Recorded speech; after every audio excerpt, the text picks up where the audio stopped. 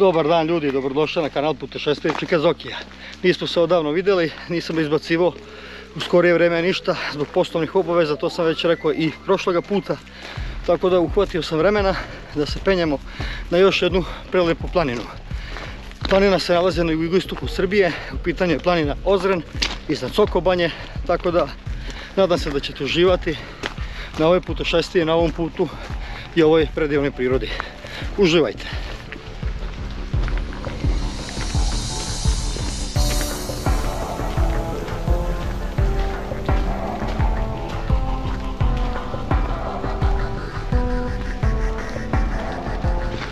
Put od Soko Banje do bolnice, odnosno grudne bolnice, postoje dve bolnice ovdje podnožuju Ozrena, znači očna i grudna, tako da ovo je taj put na kojem se sad ta ruta na Ozren planinu je znači 5 km je nešto od Soko Banje do grudne bolnice i od grudne bolnice sad idemo do manastira Jermenčić. To je taj ruta za jedan od vrhova na Ozren planini. Tako da nadam se da ćemo uživati kišno je vrijeme, znači koji, ko što i sami znate u zadnjih mjesec i po dva nenormalne kiše padaju. Evo i danas, danas je početak juna, nedelja je u pitanju, zakišilo je, nisu trenutno jaki pljuskovi, ali vidjet ćemo situaciju kakva bude. I fino je po kiši ići, ali opet i možda da zasmeta ako budu oni krvavi pljuskovi i tako dalje. Tako da vidjet ćemo situacije. Uglavnom, na ovom sam pravcu ka manestiru Jermenčić.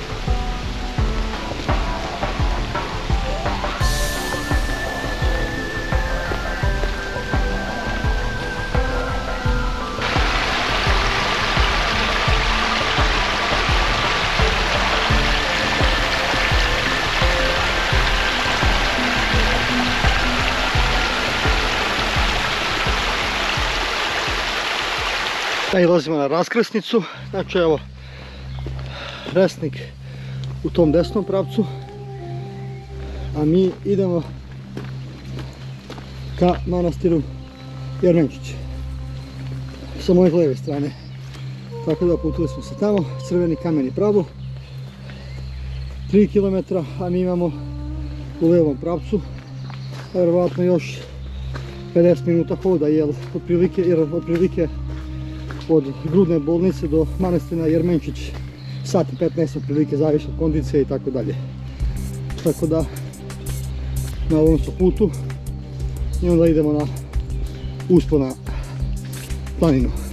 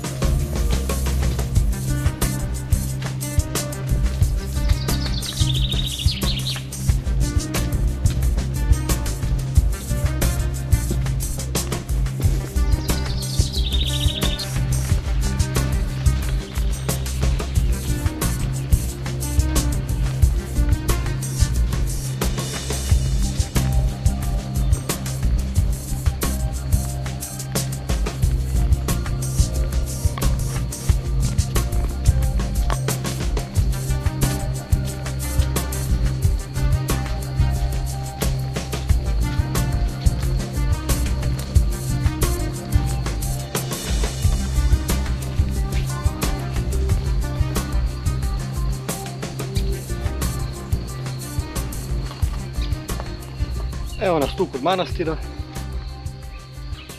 Stigli smo, sad idem dalje da nađem putanju. Uglavnom, manastir je podignut po nekim zvaničnim podacima koje sam pronašao. Manastir je podignut 1392. godine od strane Jermena kada su se ovdje na ozranu točili zbog najeza Turaka, tako da zato nosi manastir naziv Jermenčić.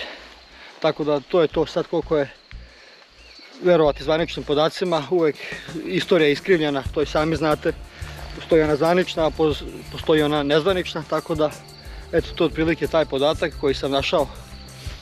Tako da eto, kišica Rominja, ništa idem ja dalje ovdje, ovdje postoje klupe za odmor, znači izletište, ozren je pun izletišta, tako da za svakog po nešto, za turistu, za avanturistu, piknikovanje, jednodnevno, dvodnevno, tako dalje, avantura na planinu, uglavnom super je.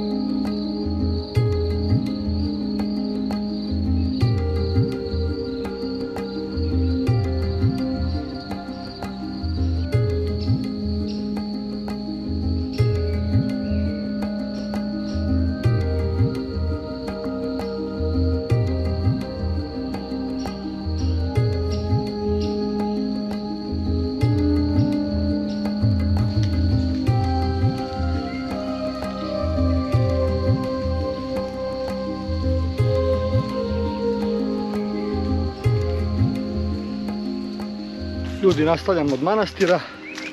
Jermenčić, to jest hram koji je podignut arhangelima Gavrilu i Mihajlu.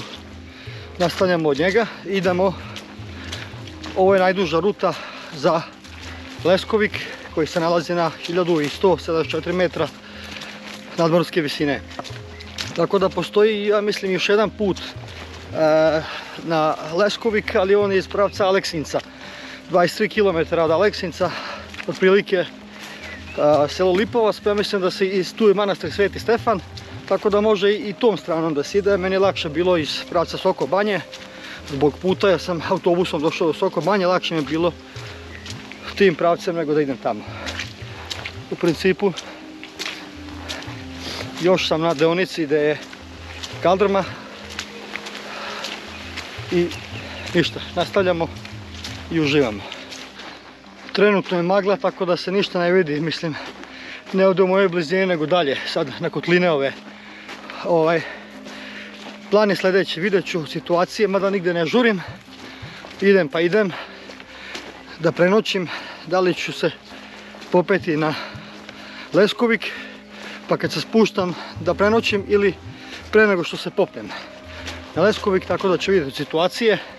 Uglavnom nigdje ne žurim da je lepše vrijeme bilo i bolje jer je taj problem što ne mogu da zapalim vatru, vjerovatno pokušat ću, ali sve je mokro, sve je vlažno od kiše, to teško da može da se zapali, da gori. Iako ja ponesem malo benzina kad, se nađe u ovakvim situacijama, kad je kiša i tako dalje, da potpomognem, da olakšam sebi, ali vidjet ćemo od situacije.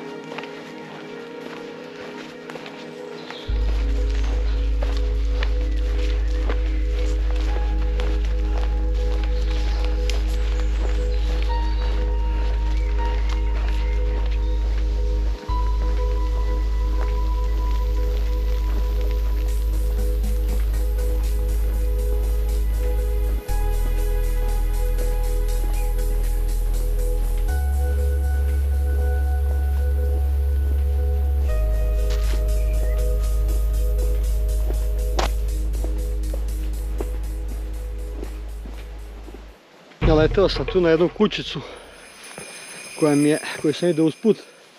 Da li je planinarska ili nije, ali ne bih rekao po načinu gradnje. Ne znam čemu služi. Vidite kako je pravljeno od blata. Zanimljivo. Sad ćemo ući da vidimo šta ima.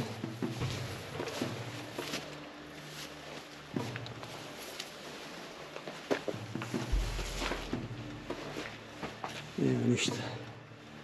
Prazno, ronulo.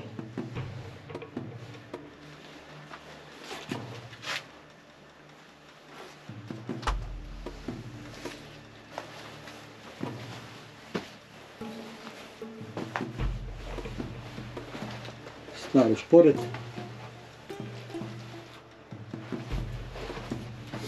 Ali zanimljivo je. Baš zato što je ovako staro.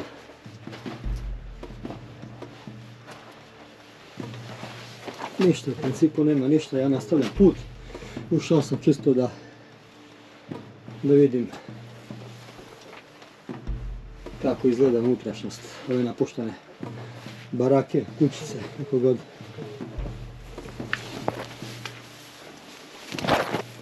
Ništa, ja nastavljam dalje.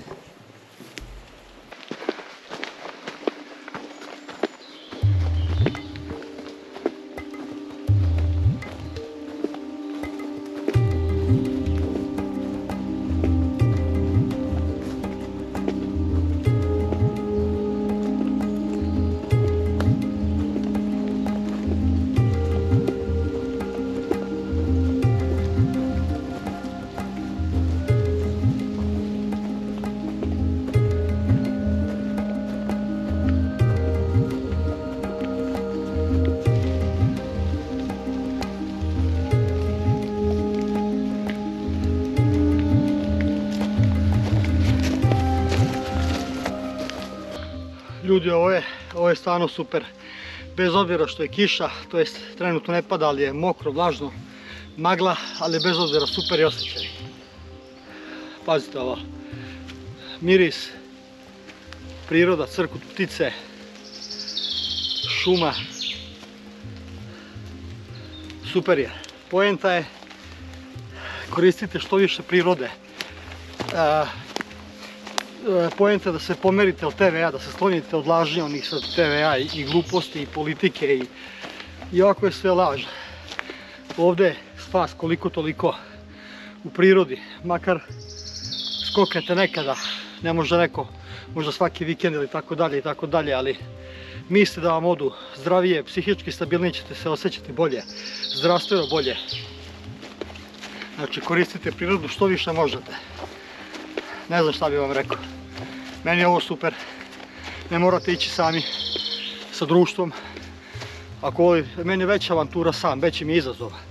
Naravno, postoje i loše strane ovoga, možeš pasti, povrediti nogu i nemaš koga dozvati u pomoć, pogotovo ako nema signala interneta, ugasio si, ali treba sa pozitivnom energijom i pozitivnim mislima ići i neće vam se ništa desiti bar bi tako trebalo, ali razumijete pojentu što hoću da, da kažem.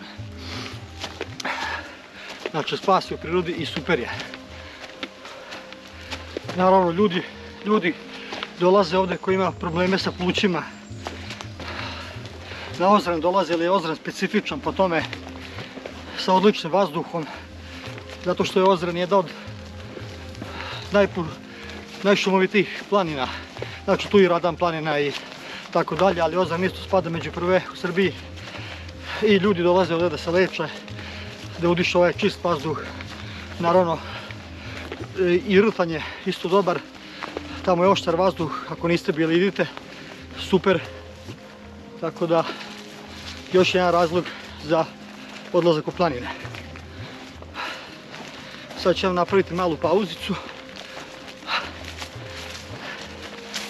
Samo da vidim, sad je negdje 10 do 4. Hodat ću sat, sat i po dva, vidjet ću, ne znam nija. Kao što sam rekao, ne žurim, pa ću stavljati kamp. Vidjet ću stvari situacije, ne znam nija sam. Ali uglavnom, ništa ne napravim pauzicu desetak minuta. Neću ni previše da se ohladim. Možda i kraće. da popijem vode malo i da uživam u ovoj lepoti u planini Ozrene.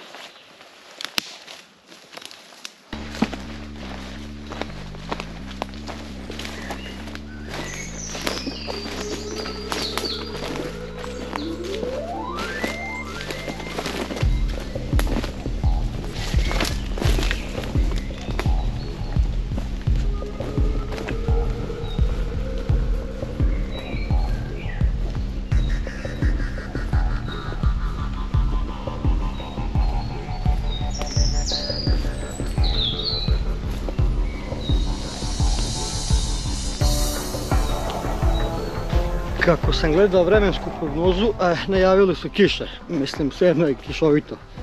I sutra i danas, ceo dan. Ali vidjet ćemo. Bilo bi lepo kad bi se razvedrilo zbog pogleda kad budemo na vrhu. Ali bit će šta bude, ne možemo utjecati na vreme. Gadno je, gadno je ovim ljudima što zasiju eh, strune voće, malina, višnja, sve propadne, poplave, odu usevi. Mislim, to je žalosno, ali kao što sam rekao, mi ne možemo tu, tu da utičemo. Ne znam, vidjet ćemo dalje situacije. Šta će biti.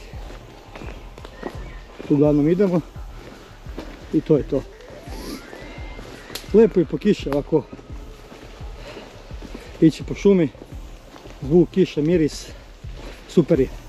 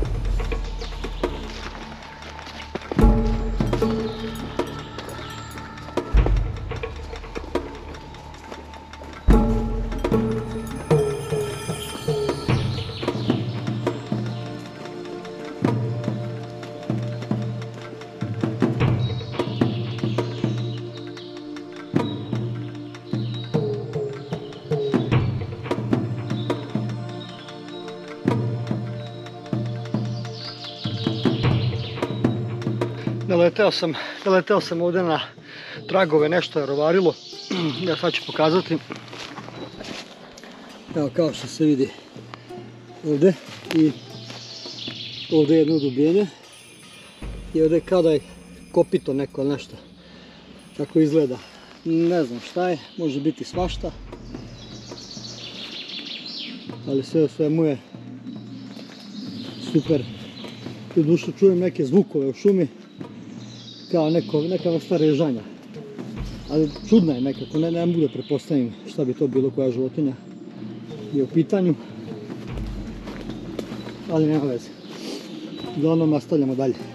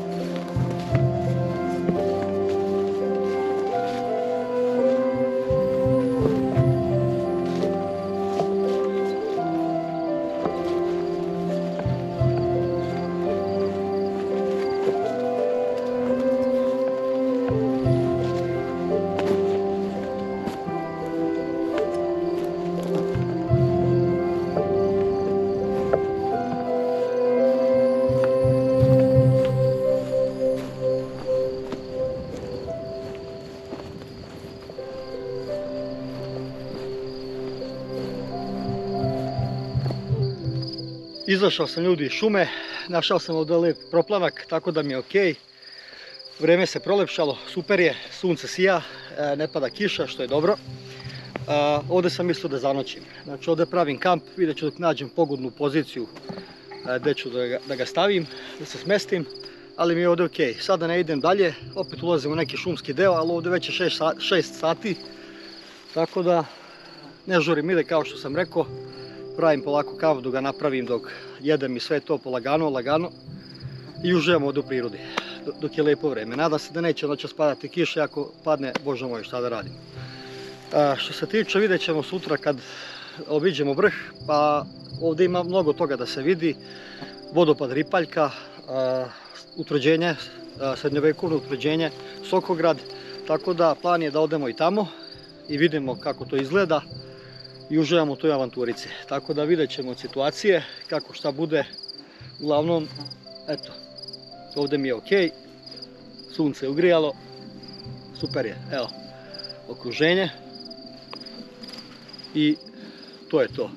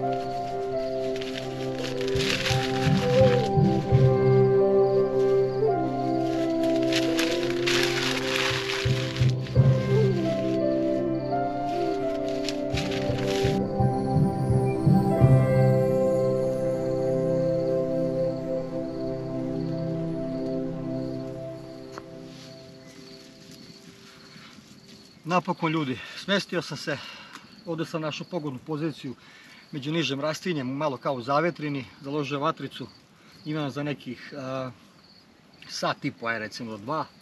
Malo je vlažno drvo, ali bit će ok, polagano ću ga onako ložiti. Uglavnom, to je to. Odmaram, pravim sebi sad kafu, kasnije ću čaj, ću i polako na konak. Uglavnom, sutra vidjet ćemo, idemo, nastavljamo, idemo dalje. Ostaće malo umor, nadam se da neće biti padavina, ali vidjet ćemo. Uglavnom, krov sam napravio, tako da vidjet ćemo će li izdržati, ali to bi bilo to. Uglavnom, vidimo se ujutro. Ćao!